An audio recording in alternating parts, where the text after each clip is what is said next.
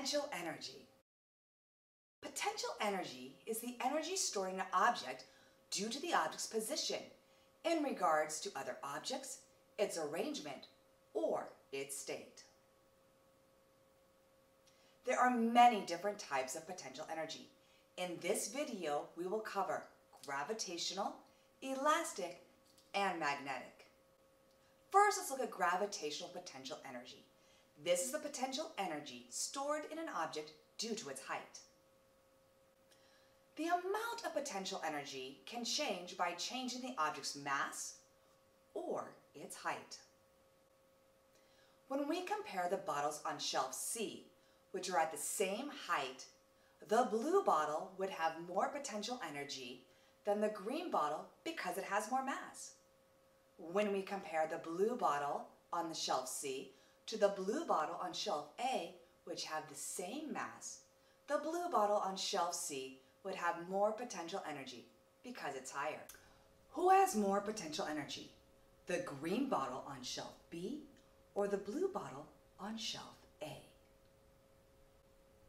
To figure this out, we need to use the formula potential gravitational energy equals mass times gravity times height, where gravity on Earth is a constant 9.8 meters per second squared.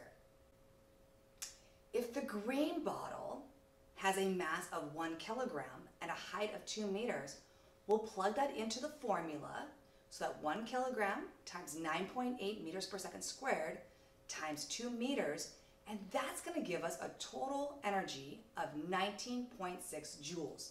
Joules is the unit for energy. Now let's that blue bottle with a mass of 2 kilograms and a height of 1 meter. Again, we plug it into the formula.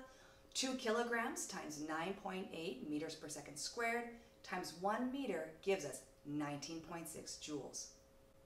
As you can see, the green bottle and the blue bottle actually have the same potential gravitational energy, even though they have different masses and different heights. Our second one is elastic potential energy.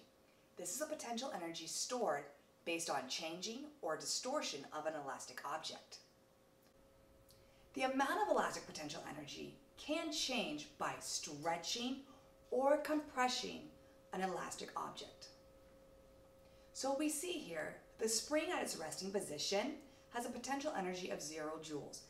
Stretching that spring increases potential energy, and so does compressing that spring. To find the potential energy of the spring, we use the formula potential energy equals 1 half k x squared, where k is the spring constant, and each spring has its own spring constant, which is determined by how stiff it is x is the distance that is stretched or compressed from its resting position. So what is the potential energy of the stretched spring if the spring constant is 2.85 newtons per meter? We're going to take this and we're going to plug it into the formula so that P equals 1 half 2.85 times that x, which is 2, so 2 squared. And when we get that, it's 1 half times 11.4, and that gives us a potential energy of 5.7 joules. Let's look at this picture. When does the pogo stick have zero potential energy? If you said B, you are correct. B is where it's at its resting position. A is compressed and C is stretched. Magnetic potential energy is the potential energy stored based on the position in the magnetic field. The amount of potential energy can change based on its distance between the magnets of opposite or similar charges. As magnets with similar charges get closer together, the actual amount of potential energy increases.